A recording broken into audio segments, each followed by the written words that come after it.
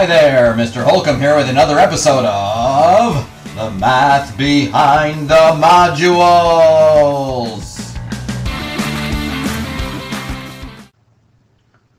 Okay, welcome to lesson 18, slicing on an angle.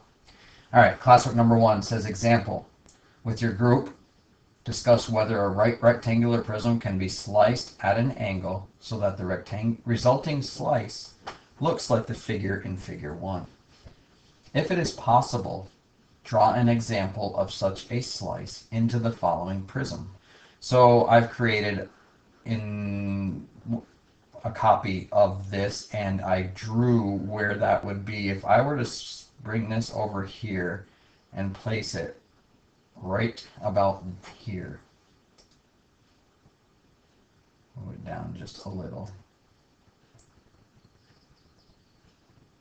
Lining up all these sides, it would look like about there. So the green lines were the original uh, corners of the box, and if you could picture that uh, pinkish color triangle, that would be the base of a triangular prism slicing through, and that would be the figure one sliced through. Okay, number or exercise one says with your group, discuss how to slice a right rectangular prism so that the resulting slice looks like the figure in the figure two. Here's figure two, and it says to justify your reasoning. So what you want to do is basically do this right here, but instead of an equilateral triangle, get an isosceles triangle where two sides are congruent. And in order to do that, you would want to use a ruler and measure two segments to be equal and have one to be shorter. So here's an explanation. I would use a ruler to measure two segments of equal length on two edges that meet at a common vertex. So in the diagram up here, that would be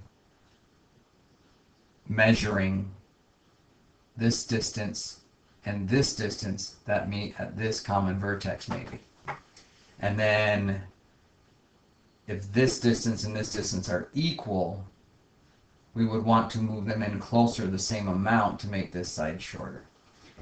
Then I would join these two endpoints with a third segment is what they're saying. Okay, so part B now says, with your group, discuss how to slice a right rectangular prism so the resulting slice looks like the figure in figure 3, which is an equilateral triangle. All three sides are congruent. Okay, so this would be done by using a ruler to measure three segments of equal length on three edges that meet at a common vertex.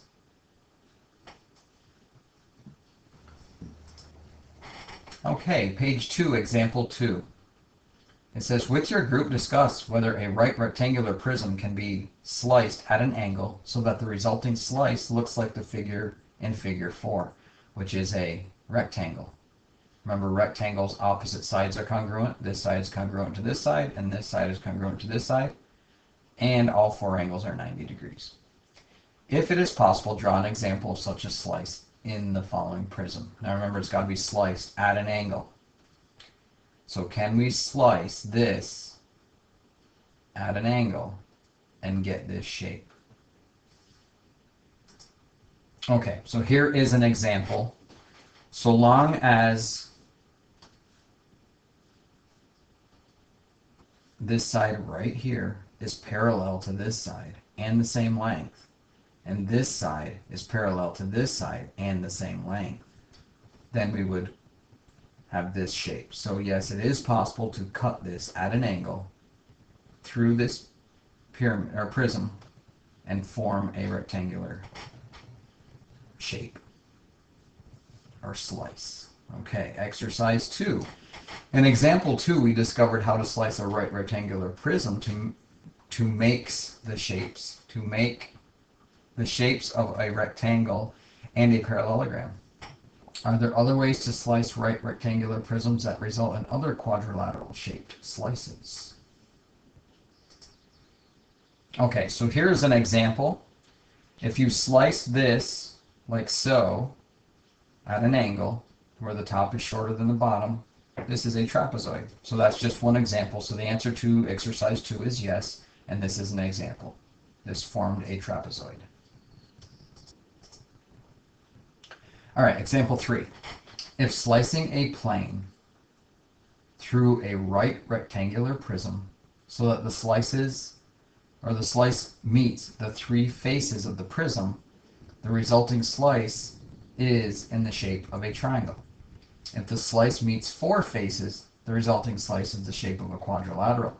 Is it possible to slice the prism in a way that the region formed is a pentagon, or a hexagon, or an octagon, as in figures 5, 6, and 7? And here's the answer. Yes, it is possible to slice a right rectangular prism with a plane so that the resulting cross-section is a pentagon. The slice would have to meet five of the six faces of the prism. Similarly, it is possible for the slice to take the shape of a hexagon if the slice meets all six faces. It is impossible to create a slice in the shape of an octagon because the right rectangular prism has six faces and it is not possible for the shape of a slice to have more than more sides than the number of faces of the solid. Okay, on to page three, part B. Draw an example of a slice in a pentagon shape and a slice in a hexagon shape. So this is from part A. We concluded that yes, it's possible to make a five and six sided figure as long as you hit five or six sides of the shape. All right, so here is an here are two examples of that. So this slice here is coming down. We hit every single face except the base. So there's one, two, three, four, five, and this is what this shape would look like. That is a pentagon, five-sided figure. Here is a hexagon. Notice that they hit the back over here, the top right here, the right side here, the left side over here, the bottom here, and the front here. So it hit all six sides and formed this shape right here. Okay, example four. A, with your group, discuss whether a right rectangular pyramid can be sliced at an angle so that the resulting slice looks like the figure in figure 8. If it is possible, draw the example of such a slice into the following pyramid. So the first thing I would do is say, okay, how many sides does figure 8 have? Okay, this has five sides. One, two, three, four, five. This is a pentagon, five-sided figure. How many faces does a triangular prism um, have? Okay, or a pyramid. It's got the base, it's got the front, the left, the right, and the back. So it has five sides. So it should be possible to create a pentagon from a slice. Okay, so here's an example. Notice that we are hitting all five sides, including the bottom here. This is the base.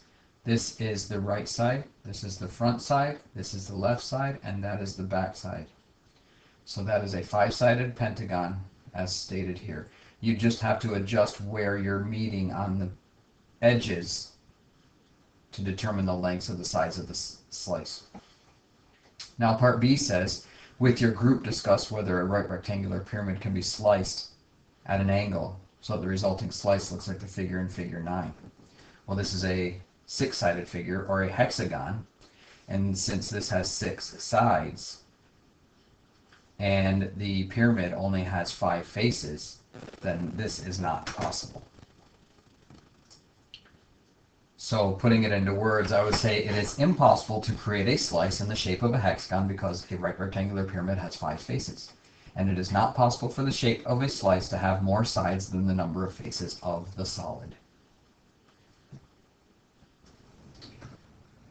Okay, page 4 brings us to the end of lesson 18. Review the lesson summary and go do your problem set.